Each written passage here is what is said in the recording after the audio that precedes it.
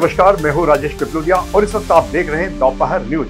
तो आइए एक नज़र डालते हैं मध्य प्रदेश सहित देश भर की कुछ खास खबरों पर। इंदौर शहर की सड़कों पर दौड़ी डबल डेकर बस पिछले लंबे समय से डबल डेकर बस के संचालन की उठ रही थी मांग। महापौर पुष्य मित्र भार्गव के प्रयासों से मंत्री कैलाश विजयवर्गीय ने किया ट्रायल रन का शुभारंभ। इंदौर शहर के नए खजराना ब्रिज को जाम से नहीं मिल रही है मुक्ति। शाम होते ही रोज़ाना होता है traffic jam. Justice Sanjiv Khanna होंगे सुप्रीम कोर्ट के अगले चीफ जस्टिस। दस नवंबर को ले सकते हैं पदभार। तिहस्ती की करोड़ों रुपए मूल्य की सरकारी ज़मीन आरोप बनी अवैध मदीना कॉलोनी आरोप चला उज्जैन जिला प्रशासन का बुलडोजर। 150 से अधिक अवैध कब्जे किए जमींदोज। उज्जैन जिला प्रशासन, नगर निगम और पुलिस बल के साथ आगे भी जारी रहेगी ऐसी ही कार्रवाई। पीएम नरेंद्र मोदी रूस के राष्ट्रपति पुतिन के निमंत्रण पर दूसरी बार पहुँचे रूस। प्रधानमंत्री नरेंद्र मोदी सोलवे ब्रिक्स शिखर सम्मेलन में लेंगे भाग। तमिलनाडु के मुख्यमंत्री स्टालिन के बाद अब आंध्र प्रदेश के मुख्यमंत्री सीएम चंद्रबाबू नायडू ने भी की नागरिकों ऐसी ज़्यादा बच्चे पैदा करने की अपील। दिल्ली निवासी विजया राहटकर बनी राष्ट्रीय महिला आयोग की अध्यक्ष। वही डॉक्टर अर्चना मुजुमदार को बनाया गया है राष्ट्रीय महिला आयोग का सदस्य। करवा चौथ पर सोशल मीडिया पर इस बार भी छाया रहा मामा शिवराज सिंह चौहान का जादू।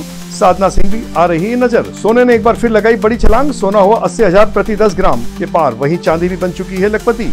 आगे और भी भाव में होगा उछाल। तो ये थी हमारी आज की कुछ खास खबरें। देखते रहिए दोपहर न्यूज़। खबरों का सिलसिला आगे भी जारी रहेगा।